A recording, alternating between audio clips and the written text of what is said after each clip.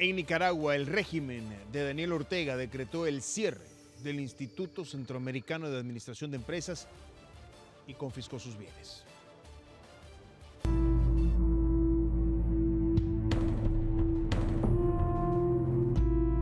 El gobierno de Nicaragua continúa cerrando más instituciones. Este día anunciaron el cierre del prestigioso Instituto Centroamericano de Administración de Empresas, INCAE, y sus bienes pasarán ahora a ser propiedad del Estado. Anteriormente, Daniel Ortega había ordenado el cierre de la Universidad Centroamericana UCA en el mes de agosto. El Boletín Oficial Nicaragüense publica en su edición de este lunes la orden del Ministerio de Gobernación, que el cierre se debe a irregularidades administrativas por no presentar cuentas en los últimos tres años y justificar así la anulación de la personería jurídica. Ante este hecho, el rector de dicho instituto, Enrique Bolaños Apausa, prefirió no pronunciarse aunque fue abordado al respecto en un evento público. La Oficina de Derechos Humanos de Naciones Unidas estima que solo en el 2022 el régimen de Ortega anuló la personalidad jurídica de más de 3.000 organizaciones de la sociedad civil y clausuró más de una veintena de medios de comunicación. Victoria Monge para Tele2.